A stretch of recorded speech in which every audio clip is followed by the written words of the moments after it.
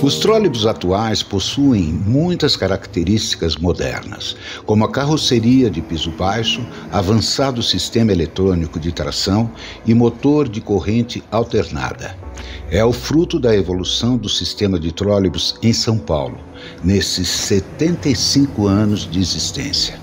No entanto, o primeiro trólebus surgiu no longínquo ano de 1882 Vamos então voltar no tempo e descobrir um pouco sobre a evolução dos trólebus.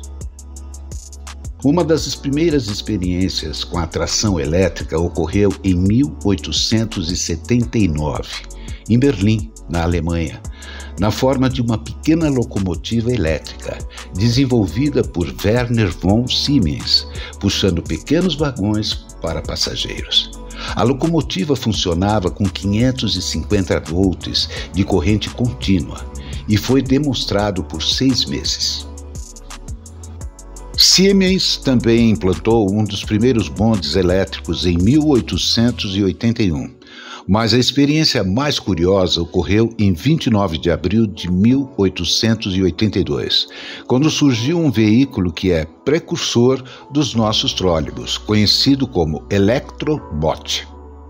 Era uma pequena carruagem adaptada com um engenhoso sistema de captação de energia, através de um pequeno carrinho que literalmente deslizava sobre dois fios energizados com corrente contínua a 550 volts, captando a energia para o veículo. A ideia era justamente ter um veículo elétrico, sem baterias, sem trilhos, com mais liberdade de movimentação. O trecho tinha uma extensão de 540 metros e a experiência se estendeu por dois meses.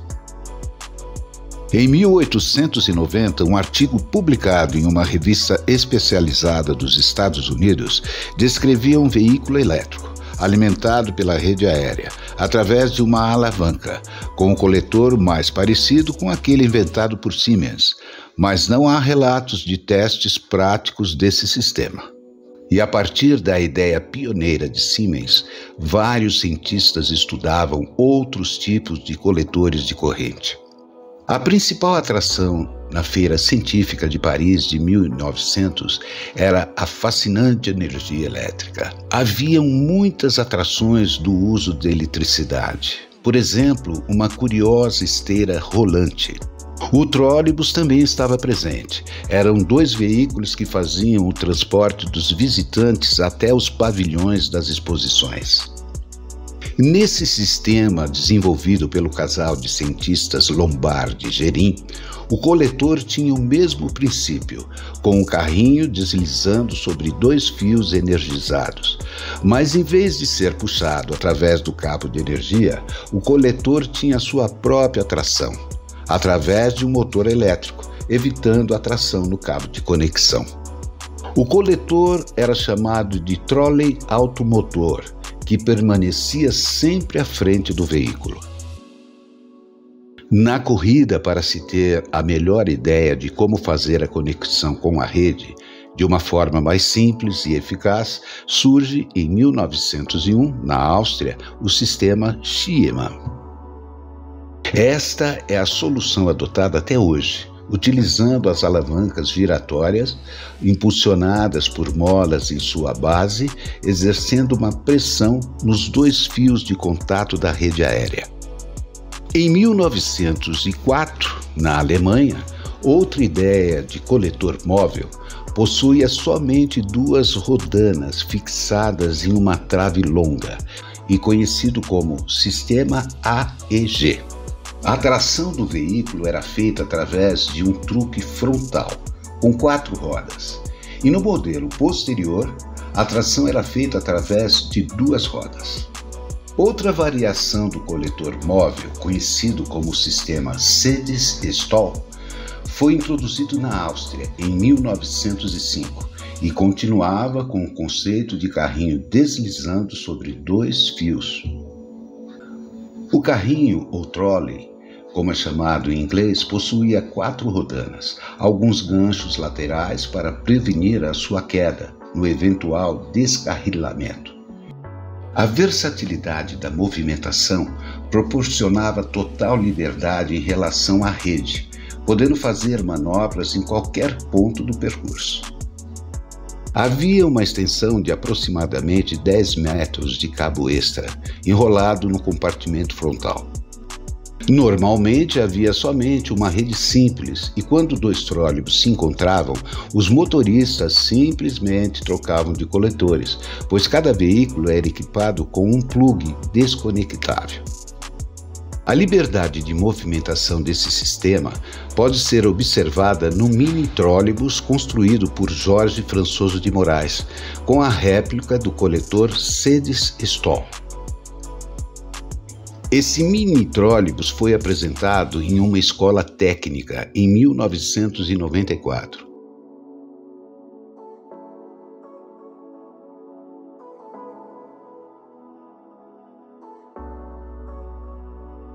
A inovação mais notável eram os motores nas rodas. Em outros veículos, a transmissão do motor elétrico para as rodas era feita através de correntes ou engrenagens. O revolucionário sistema do motor na própria roda foi implantado neste veículo. Foi uma inovação muito à frente da sua época, utilizado hoje nos modernos trólebus e ônibus a bateria pelo mundo. Ainda em 1905, na Inglaterra, outra ideia foi pesquisada com a utilização da rede de contato, com os dois fios instalados um sobre o outro, em vez de estarem distanciados na posição horizontal. Nesse sistema chamado Kohler-Lloyd, duas roldanas deslizavam no fio superior e o contato com o fio inferior era feito através de dois ganchos com molas. Na Itália, em 1908, foi testado um sistema híbrido conhecido como sistema Cantono-Frigiero, através de uma alavanca impulsionada por molas e dotada de um carrinho com quatro roldanas. Uma das últimas ideias estudada na Inglaterra em 1911 consistia em uma complexa estrutura, com duas alavancas paralelas para manter uma bandeja giratória, com quatro rodanas, em contato com os fios. Em Drammen, na Noruega, um sistema simples com alavanca única e uma sapata com dois contatos operou desde 1909 até 1967 e, na fase final do sistema, foi convertido para o sistema convencional com duas alavancas. Uma das últimas tentativas de simplificação dos coletores foi pesquisada nos Estados Unidos em 1922, com uma alavanca que se dividia em duas. De 1900 a 1914, 70 sistemas de trólebus foram implantados.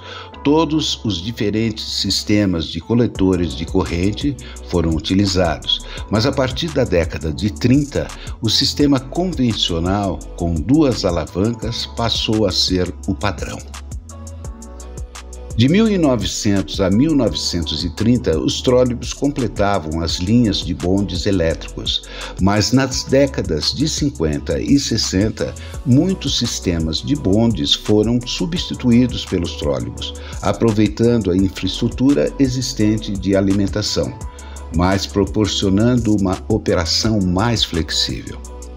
Como vemos nesta imagem, com a fiação já adaptada para os trólebus e ao mesmo tempo demonstrando a flexibilidade, desviando de um obstáculo.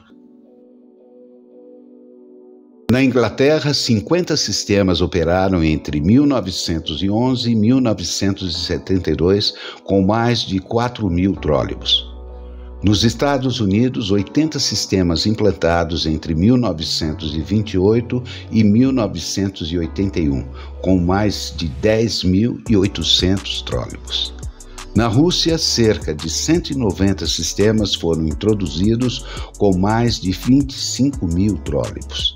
Na China, 30 sistemas somaram mais de 4.700 trólebus.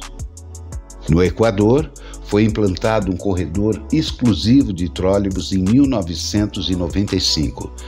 Em Nancy, na França, um sistema sofisticado de trólebus guiado operou entre 2000 e 2023. Na Espanha foram implantados trólebus guiados através de câmeras de vídeo. Na Suíça, os trólebus biarticulados são muito utilizados atualmente. Um novo BRT elétrico com pistas elevadas foi implantado na cidade do México, que também está ampliando o seu sistema com mais de 500 novos trólebus. No mundo, mais de 400 sistemas foram implantados até a década de 50. Na década de 60 houve uma redução, mas a recuperação veio nos anos 70, após a crise do petróleo. No Brasil, 11 sistemas foram implantados, mas somente três sistemas estão operando atualmente. Em São Paulo, houve uma expansão contínua até os anos 80, atingindo cerca de 556 trólebus no final da década de 90. Nos anos 2000, a frota foi reduzida para 201 veículos. O funcionamento de trólebus é bem simples. A rede aérea fornece a energia de 615 volts em corrente contínua e o equipamento de controle regula a corrente que vai acionar o motor elétrico. No Brasil, desde 1949 até os anos 70, o sistema de controle de tração utilizado nos trólebus era do tipo eletropneumático, para controlar a velocidade dos motores de corrente contínua. A partir da revitalização do sistema no início da década de 80, os equipamentos de controle passaram a ser eletrônicos. Na verdade, os motores de corrente contínua eram o padrão mais utilizado nos sistemas de tração elétrica, tanto para os bondes como para os trólebus. Este tipo de motor possui várias bobinas internas, que são energizadas através de escovas de grafite. O controle da corrente contínua permite que a rotação do motor possa ser controlada facilmente. Entretanto, os motores de corrente contínua exigem uma manutenção mais frequente, com muitas trocas de componentes e eram produzidos exclusivamente para a tração elétrica, sob encomenda, o que significa um alto custo de aquisição. O equipamento de controle eletropneumático é composto por várias unidades de resistência elétrica, conectados a vários contatores mecânicos.